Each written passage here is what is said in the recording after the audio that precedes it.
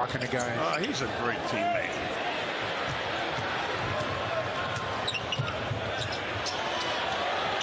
Damn. Well, they're looking for him, and well, they should because he can knock him down.